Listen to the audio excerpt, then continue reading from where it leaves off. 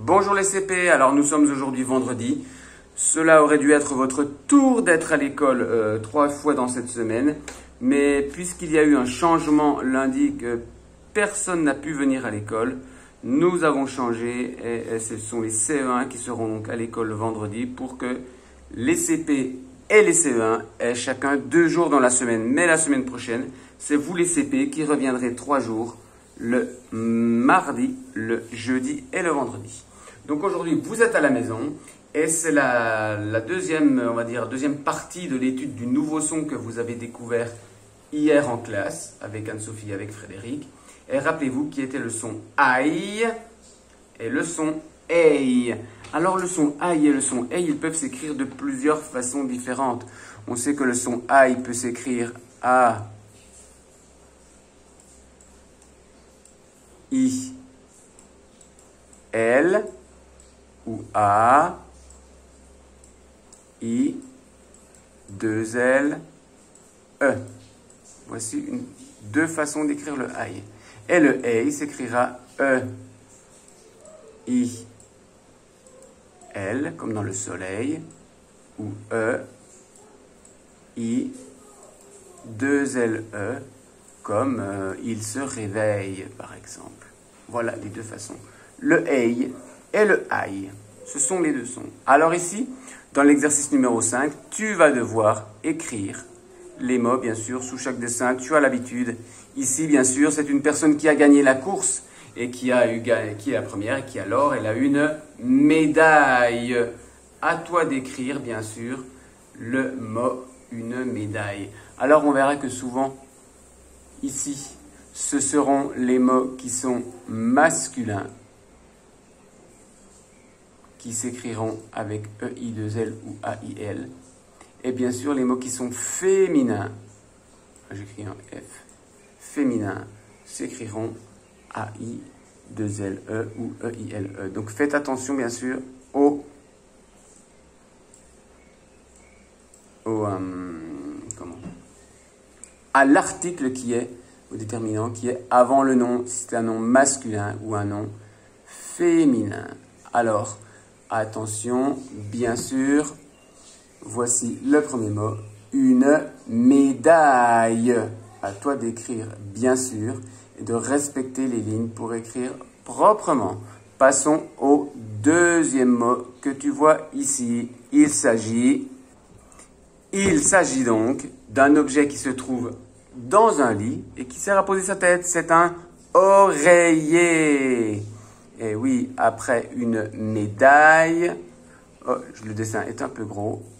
Voici après une médaille, voici très bien.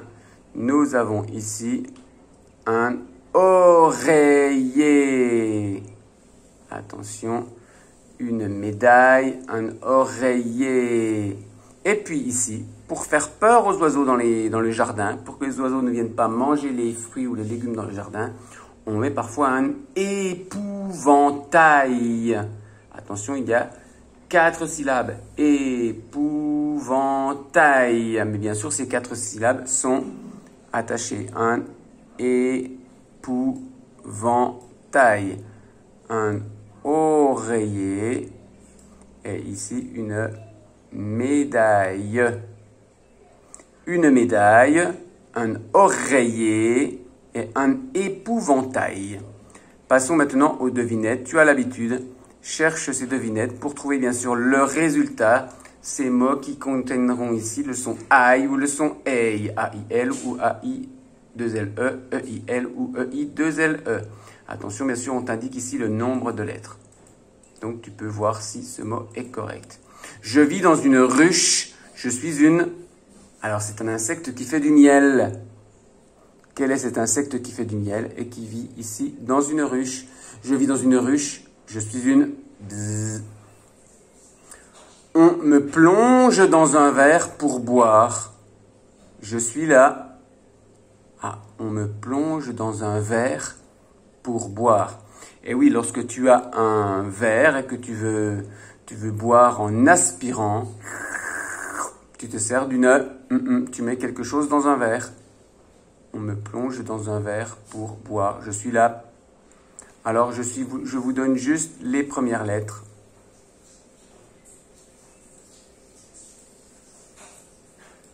qui peuvent peut-être vous aider. Je suis fermé par un bouchon. Je suis là. Eh oui, lorsque c'est la fête, par exemple, ou lorsqu'il y a du monde, des invités, on a peut-être euh, des choses euh, sur la table qui sont fermées par un bouchon. Et voilà, qu'on a besoin d'ailleurs d'un tire-bouchon pour ouvrir. Je suis fermé par un bouchon, je suis là. Hum, hum. Euh, ça peut être de vin ou de jus de fruits. Je brille le jour. Je suis là. Alors, c'est très facile. Hein. Je brille le jour. Quel est l'astre quelle est quelque chose, quelle est la chose qui nous, qui brille le jour et qui apporte la chaleur et la lumière à la terre Voici le hum, hum, hum. À toi, bien sûr, de résoudre ces quatre devinettes pour trouver quatre mots contenant le son aïe ou ei. Dans l'occurrence, voilà, aïe.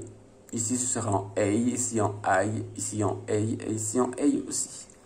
Pour l'exercice numéro 7, tu vas bien sûr compléter ces phrases avec les petits mots qui sont là.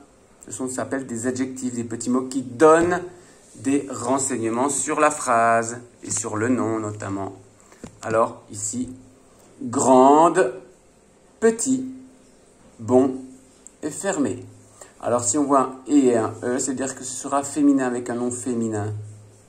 Petit, il y a un S, donc ce sera aussi accordé avec quelque chose de, au pluriel, c'est-à-dire qu'il y a plusieurs choses. Qui m'a donné un conseil. Cette porte est... Regarde cette chenille. J'ai ramassé plein de cailloux. Alors fais bien attention, bien sûr, d'accorder ces adjectifs avec les noms. À chaque fois, tu vois,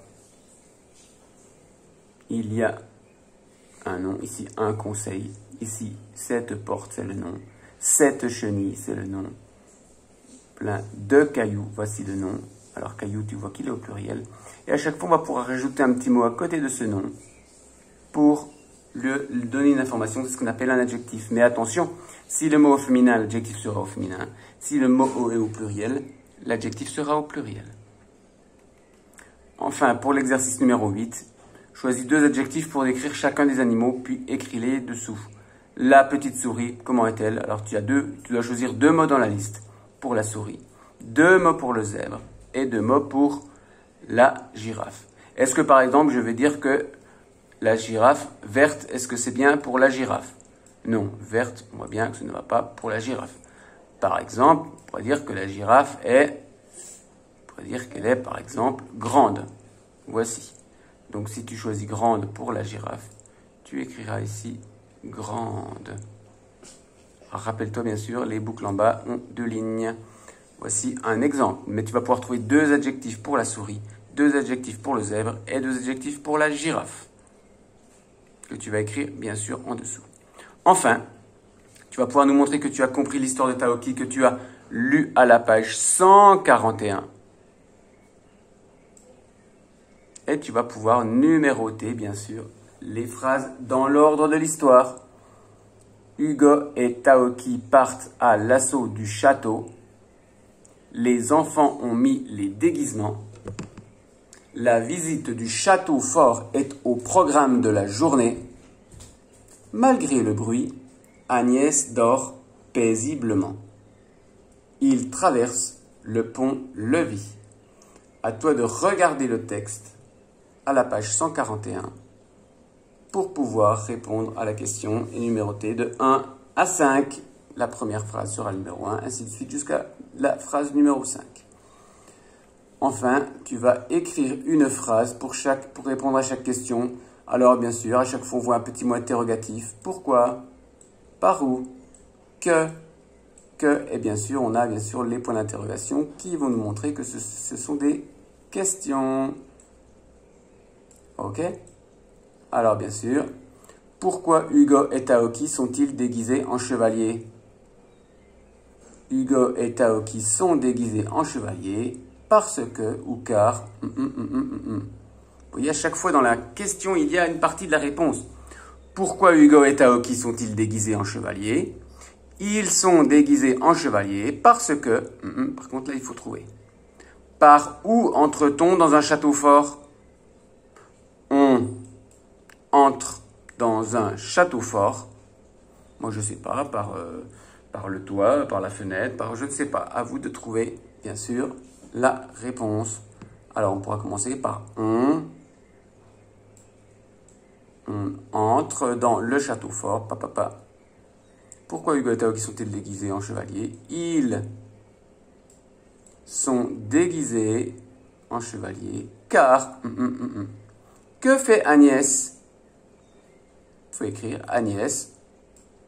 Je sais pas. Euh, fait du vélo, euh, fait de la couture, euh, apprend ses tables de multiplication. Je ne sais pas. Agnès. Bien sûr. À chaque fin de chaque phrase, il y aura un point. Que fait le père de Hugo?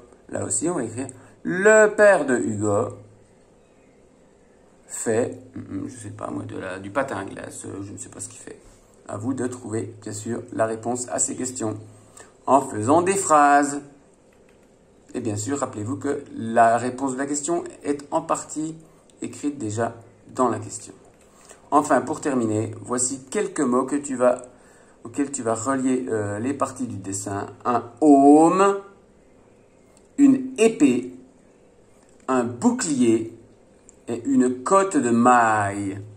Alors, la côte de maille, un maille c'est comme euh, Maya, hein, de toute façon. Euh, voilà, c'est comme avec un petit grillage en fer qui protégerait euh, le corps de, des coupures ou des, des, lames, par exemple, qui pourraient faire des blessures. Un aume, une épée, un bouclier et une côte de maille. Voici le travail pour aujourd'hui avec bien sûr du travail sur ce son A, et ce son AI. AI qui s'écrit E-I-L ou E-I-2-L-E. AI qui s'écrit A-I-L ou A-I-2-L-E, bien sûr, mais qui se prononce AI et A. Bon travail les CP. On se retrouve bien sûr la semaine prochaine pour euh, de nouveaux sons et bien sûr de nouvelles aventures de Taoki et de ses amis. Ciao, ciao les CP, à bientôt